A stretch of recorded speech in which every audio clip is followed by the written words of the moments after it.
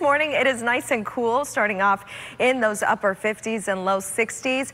Now when it comes to the wind, I'm seeing the breeze picking up somewhat right on the edge of right there Palm Beach, the Palm Beaches basically. But in West Palm Beach, the wind speed now up at 13 miles per hour. It was much lower than that a few moments ago. But anyway, light wind up into the Treasure Coast. And so we will continue with winds mainly out of the north throughout today. A nice breeze that's going to make things feel so comfortable this afternoon with highs in the mid to upper 70s from 75 degrees in Vero Beach to 77 in West Palm Beach.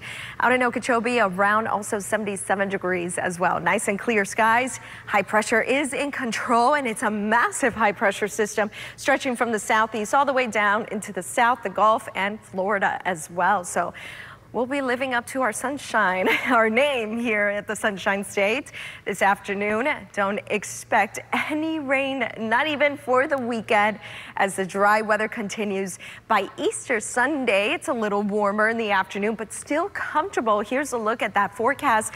In the morning, a Sunday, 62 degrees, 81 in the afternoon, but with low humidity, it is still nice and comfy. And then throughout Sunday evening, maybe you have an Easter dinner.